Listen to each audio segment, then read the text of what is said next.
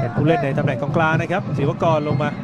อ้าวลองแหวกมาครับปูโตสปูโตสยิงลูกนี้สามหนึ่งครับโอ้ฝังเลยหรือเปล่าอืมบุกอยู่เพลินๆครับลำปางมาเสียประตูที่สามโดยฟานปูโตสโอ้พอ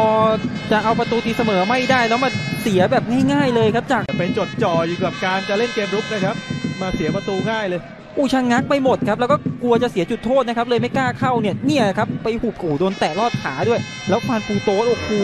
ต้องบอกว่าเล่นจังหวะนี้นี่ เอาสามแต้มเนี่ยใส่กระเป๋าเลยครับ ดับความหวังของแฟนๆรถม้ามรกตเลยครับ โอ้อย่างนี้แทบจะจบแล้วครับฟานปูโตสยิงประตูนี้แฟนสิงห์เจ้าท่าอุ่นใจแล้วครับ